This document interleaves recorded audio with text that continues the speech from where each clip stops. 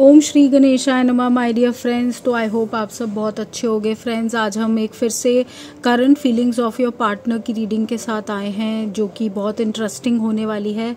Friends इसमें हम देखेंगे कि आपके पार्टनर के क्या फीलिंग्स हैं, उनकी इस रिश्ते को लेके क्या इंटेंशंस हैं। दूसरा हम देखेंगे वो क्या नेक्स्ट एक्शन लेंगे या नहीं लेंगे या क्या सोचते हैं एग्जैक्टली exactly और लास्ट में आपके लिए गाइडेंस निकालेंगे एक जनरल गाइडेंस जो कि बहुत इंपॉर्टेंट होगी ये देखने के लिए कि क्या आपको एग्जैक्टली exactly अब करना चाहिए और ऊपर वाला आपको क्या बोल रहा है इस पूरी सिचुएशन में। ठीक है? सो so, सबसे पहला तो फ्रेंड्स ये करेंगे।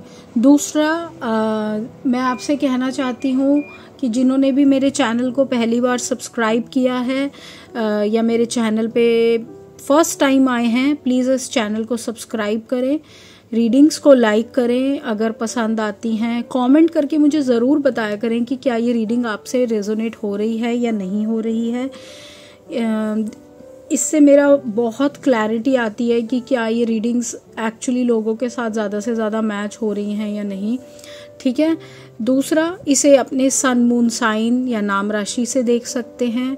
एंड लास्ट ज़बरदस्ती अपने ऊपर कोई चीज़ नहीं डालनी जितनी रेजोनेट हो उतनी देखें। ठीक है? सो जल्दी से फ्रेंड्स रीडिंग को करते हैं। स्टार्ट बिना टाइम गवाए। Okay all right so my dear Libra यानी कि तुला राशि। सो so, तुला राशि किस एनर्जी में है आपके पार्टनर अभी फ़िलहाल? देखने की कोशिश करेंगे क्या कोई बदलाव आया है उनके अंदर, किस तरह की फीलिंग्स रखते हैं वो इस रिश्ते को लेके, ठीक है? इंटेंशंस और फिर next action queen of cups five of swords the moon and the hierophant देखिए लिब्रा आपके पार्टनर आपसे प्यार करते हैं। इसमें तो कोई शक नहीं है। लेकिन वही चीज़ें आप दोनों के बीच में जो बार बार तकरार हो रही है बार बार जो इश्यूज़ आते हैं, कहीं ना कहीं आप भी उनके साथ एक ऐसे झगड़े में फंस जाते हैं बार बार जो उन्हें बिल्कुल पसंद नहीं है। वो नहीं समझ पाते कि क्यों आप बार बार उनको उन चीज़ों के लिए फंसा देते हैं, कहीं ना कहीं आप गुस्सा करते हैं, कहीं ना कहीं अगर लिब्रा ये चाहते हो आपकी आप जैसे जनरली उनसे कभी लड़े या कोई बात बोली तो आपका पार्टनर भी आपको वही करता है। और उन्हें भी यही लगता है कि ज़रा सा अगर वो नाराज़ हो जाते हैं या कोई बात हो जाती है तो आप उनके साथ वो करते हैं। तो आप दोनों में जो ये एक लगातार एक युद्ध जो छिड़ा रहता है और फिर उस युद्ध में सबसे बड़ी बात ये है कि आप इतना चाहते हैं उन्हें, वो भी आपको चाहते हैं बट फिर वही चीज़ें जब बार बार होती हैं, एक सर्कल एक साइकिल में आप दोनों फंस जाते हैं, उससे वो बाहर नहीं आ पा रहे। वो बहुत चिंताजनक, यानी कि बहुत इशू है उनकी लाइफ में।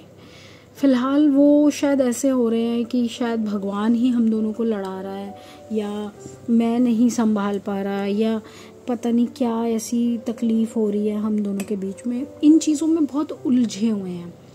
डरते हैं भविष्य को लेकर, सोच नहीं पाते भविष्य में क्या करना चाहिए, क्या एफ़र्ट लेना चाहिए, क्या क्या आपके पास माफ़ी भी नहीं मांगने आना चाहते, झुकना भी नहीं चाहते, ऐसा भी दिख रहा है। क्या है उनकी इंटेंशंस इस रिश्ते को लेके? The fool seven of wands temperance देखिए, फ़िलहाल तो मुझे जहाँ तक लग रहा है लिब्रा की उनका जो मेन फोकस है वो खुद पर ही है। उनका मेन फोकस ये है कि कैसे वो अपनी एनर्जीज़ को बैलेंस करें, खुद को कैसे नॉर्मलाइज करें क्योंकि अगर वो आपको मनाने भी आते हैं तो भी कैसे खुद को समझा कर आपके पास आए?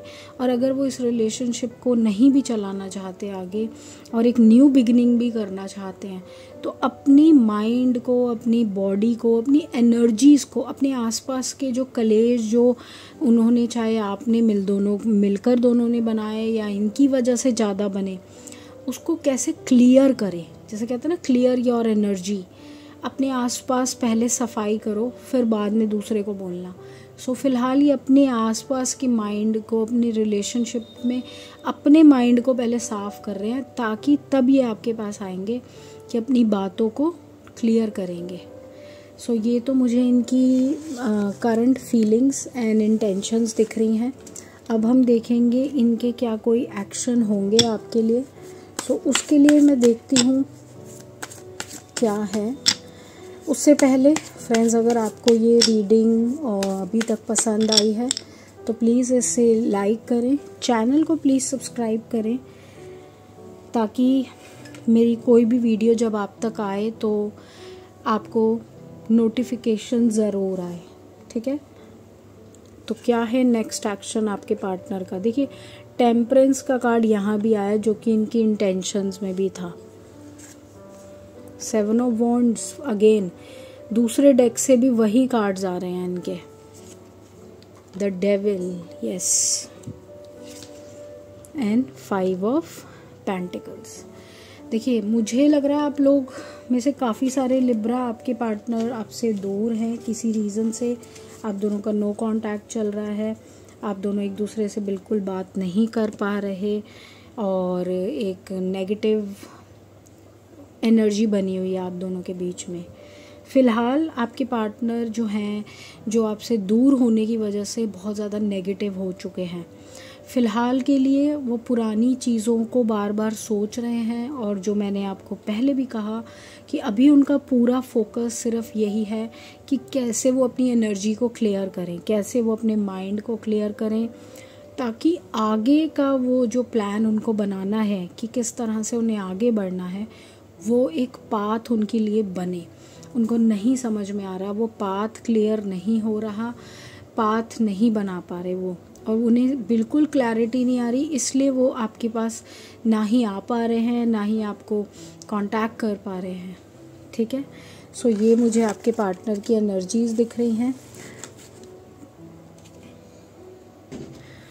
ऑल राइट सो अब हम देखते हैं आपके लिए क्या है डिवाइन की गाइडेंस लिब्रा सो लिब्रा राशि के लिए हम डिवाइन की गाइडेंस लेंगे देखेंगे क्या बोलना चाहते हैं डिवाइन उनको। सो so, डिवाइन आपको कहते हैं प्योरीफाई योर थ्रोट चक्रा यानी कि आप कोई भी बात किसी से बोलने से पहले लिब्रा थोड़ा सोच के बोले।